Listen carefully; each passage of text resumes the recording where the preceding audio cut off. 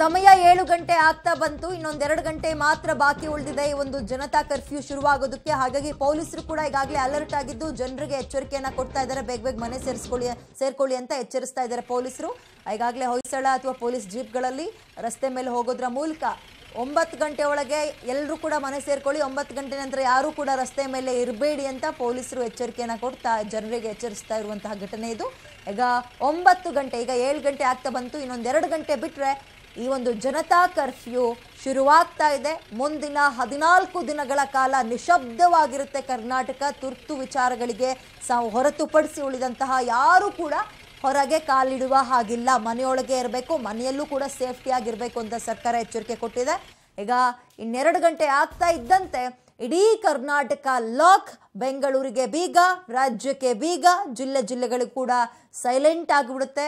ಉಳಿದಿಂತ, ಉಳಿದಿರೋದು ಕೇವಲ ಎರಡು ಗಂಟೆಯ ಸಮಯ ಮಾತ್ರ. ಈಗ ಹಾಗಾಗಿ ಲಾಕ್ಡೌನ್ ಬಗ್ಗೆ ಪೊಲೀಸರು ಎಚ್ಚರಿಕೆಯನ್ನು ಕೊಡ್ತಾ ಇದ್ದಾರೆ. ಬೇಗ ಮನೆ ಸೇರಿಕೊಳ್ಳಿ. ಒಂಬತ್ತು ಗಂಟೆ ನಂತರ ಯಾರು ಕೂಡ ಓಡಾಡಬೇಡಿ. ಓಡಾಡಿದವರಿಗೆ ವೆಹಿಕಲ್ ಸೀಸ್ ಮಾಡ್ತೀವಿ. ಇನ್ನೊಂದು ಹದಿನೈದು ದಿನ ಅವ್ರು ವೆಹಿಕಲ್ ನೋಡೋಂಗೆ ಇಲ್ಲ. ವೆಹಿಕಲ್ ಸೀಸ್ ಆಯಿತು ಅಂದರೆ ಈಗ ನೀವು ಯಾವ ಸ್ಟೇಷನ್ ಸುತ್ತಿದ್ರು ಅಷ್ಟೇ, ಎಲ್ಲಿ ಹೋದ್ರು ಅಷ್ಟೇ, ಏನು ಇನ್ಫ್ಲೂಯೆನ್ಸ್ ತೊಗೊಂಡು ಹೋದ್ರು ಅಷ್ಟೇ. ಹಾಗಾಗಿ ಮನೆ ಸೇರ್ಕೊಳ್ಳಿ ಮನೆ ಸೇರ್ಕೊಳ್ಳಿ. ಸರ್ ನಮಗೆ ಗೊತ್ತಿರಲಿಲ್ಲ ಮೊದಲನೇ ದಿನ, ಅದು ಇದು ರೀಸನ್ ಯಾವುದನ್ನು ಕೊಡಬೇಡಿ. ಸುಮ್ಮ ಹೋಗಿ ಮನೆಗೆ ಸೇರ್ಕೊಳ್ಳೋಕೆ ಏನು ಸಮಸ್ಯೆ ನಿಮಗೆ? ಹಾಗಾಗಿ ಪೊಲೀಸರು ಕೂಡ ಈಗ ಅವರ ಒಂದು ಜೀಪ್ಗಳಲ್ಲಿ ಜನರನ್ನ ಎಚ್ಚರಿಸೋ ಕೆಲಸವನ್ನ ಮಾಡ್ತಾ ಇದ್ದಾರೆ.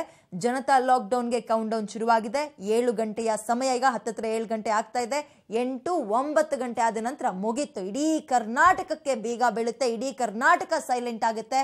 ನಾಳೆಯಿಂದ ಬೆಳಗ್ಗೆ ಆರು ಗಂಟೆಯಿಂದ ಹತ್ತು ಗಂಟೆ ತನಕ ನಿಮಗೆ ಬೇಕಾಗಿರುವಂತಹ ಅಗತ್ಯ ವಸ್ತುಗಳನ್ನು ಖರೀದಿ ಮಾಡೋದು ಬಿಟ್ಟರೆ ಮನೆ ಹೊರಗೆ ಕಾಲಿಡೋಕೆ ಹೋಗಬೇಡಿ. ಒಳ್ಳೆಯದಲ್ಲ ನಿಮ್ಮ ಒಳ್ಳೇದಕ್ಕೆ ಸರ್ಕಾರ ಮಾಡ್ತಾ ಇರೋದು. ನೀವು ಆರೋಗ್ಯವಾಗಿರಲಿ ಅಂತಲೇ ಸರ್ಕಾರದ ಎಚ್ಚರಿಕೆ.